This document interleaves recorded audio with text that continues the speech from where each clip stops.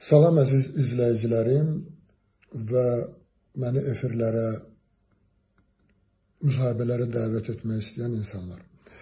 Demək vəziyyət belədir. Uzun müddətdir mən demək olar ki, fəaliyyətimi dondurmuşam və bu müddət ərzində e, zənglər gəlib və hər kəsə ayrı-ayrılıqda fikrimi izah etmişəm. Lakin görürəm, həm pərəstişkarlarım nigarandır, həm də hər gün demək olar ki, zəng gəlir e, müxtəlif verilişlərin prodüserlarından, aparıcılarından və mən bəzən utanıram telefonu götürüm və ortada anlaşılmazlıq yaranır. Ona görə də ümumi bir video çəkib ə, e, paylaşmaq istəyirəm. Mənim efirlərə çıxmamaq səbəbim nə ulduzluqdur, nə tənbəllik, nə də bir başqa səbəbdir. Ölkəmizdə müharibə olub, şəhidlərimiz var, şəhid ailələri ə, e, qan ağlayırlar, qazilərimiz var, Mən düşünürəm ki, bugün e, mənim də gündəmimdə populyarlar e, və yaxud mənim yaradıcılığım deyil.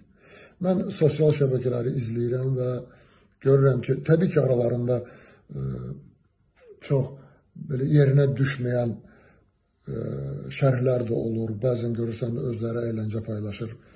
E, lakin e, müğənniləri qınırlar. Belə şeylər var. Amma ümumilikdə mən düşünürəm ki, millət haqlıdır bugün gündəm sənətçilər deyil və yaradıcılıqla məşğul olan insanlar, efirlərdə görsənən insanlar e, mən doğru anlasınlar, mən onların fikirlərinə hörmətlə yanaşıram.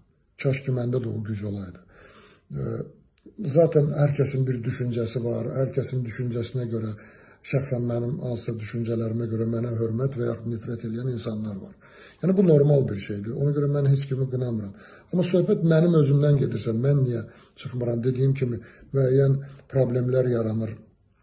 Televiziyada, televiziyalarda, mediada çalışan insanlarla mənim aramda və eyni zamanda ə, e, mənim pərəstişkarlarım nigaran qalır. Mən məcburam bu videonu çəkim.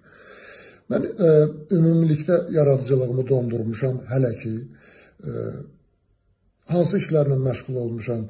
İnşallah YouTube kanalımda bir gün canlı açaram və suallarınıza cavab verərəm.